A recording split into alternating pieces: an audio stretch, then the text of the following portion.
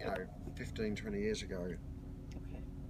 And yet, totally didn't view it as art, but people our age that saw what we were painting around the world, Mm-hmm. you know, especially like London, New York, you know, uh, Brazil, yeah, all over really. You know, there were people out there that wanted to buy our stuff and wanted to kind of connect with us, but there was no kind of medium, like middleman for them to do that. Mm-hmm. And you know, we'd approach galleries and be like, "Oh, are you interested in showing our work?" And they'd look at it, see the fact that we'd used a can of spray paint, and Uh-huh. spray paint isn't art. No, not interested. So, because we come from this do-it-yourself kind of punky skateboarding attitude, it's like, fine, we'll set up our own galleries, we'll set up our own websites. You know, it worked incredibly well because the internet was kind of working. It would have been so much harder without the internet. I don't know how I don't know how artists survived without the internet, but. Uh, so yeah, we have this do-it-yourself attitude, and you know, I'm kind of a lot more firmly planted down in Laguna nowadays. And talking with Adam, he was like, "Dude, if you're down here, then you know you should, you should we should find you a to paint." And you know, kind of run down, you know, run down neighbourhoods in big cities. You know, people want you to paint stuff there Uh-huh. because you know the council hasn't got the money to pay for it, the business owner hasn't got the money to pay for it, and they want something better on the side of their wall. But you come to an affluent neighbour, and you know, city like this, Mm-hmm.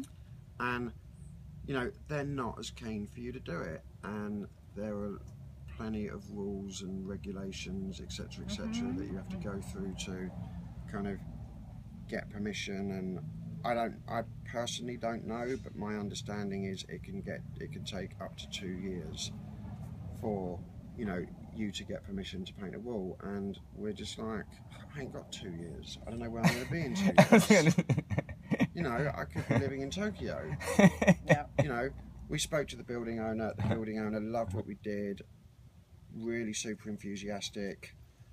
We're not running anything offensive. No. It's bright and happy. You know, it adds something to the environment. It adds something to the community. It adds something to the guy driving down the road to go and do his nine to five job. It puts a little smile on somebody's face Mm-hmm. and yeah, and you know, we funded this ourselves Okay. and we did it.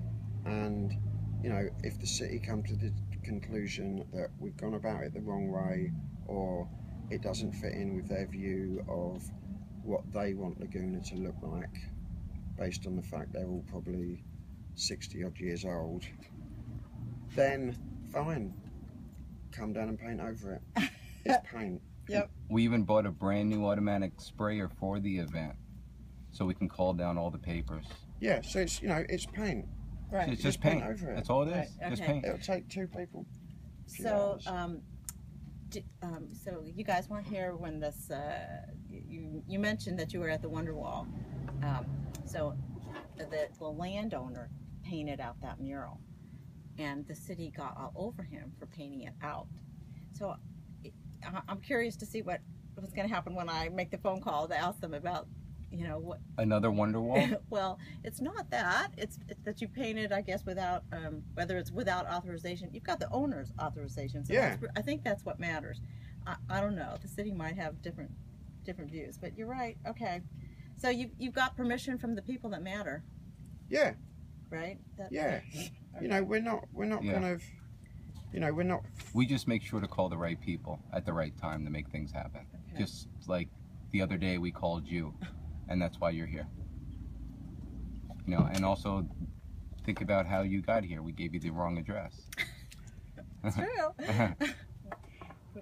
I guess I would have figured it out. Um, maybe. Um, I hear this. I'll listen for the spray paint. yeah, no, you've heard me rattling in the garden. All right. So Ben, tell me tell me a little bit about the origin here. Um, uh, from my sense of it is that y- your street art attempts to uh, attempts to pick up the vibe of the neighborhood.